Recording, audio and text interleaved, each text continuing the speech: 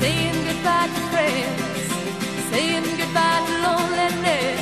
I'm on my way to Rio, place where